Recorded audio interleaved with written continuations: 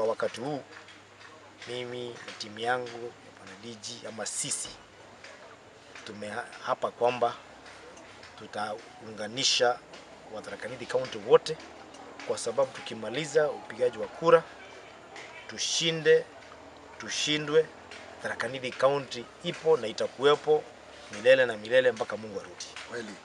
Kwa hivyo haiwezekani tufuruge kaunti yetu ndio tupate kura, na kufuruga sio aswa kwa kutumia nguvu ya mwili peke yake, ingine kwa sababu ya maneno yetu binafsi tunataja jamii mbalimbali ambaye saa ingine yanaweza anza kupigana kwa sababu ya, ya siasa.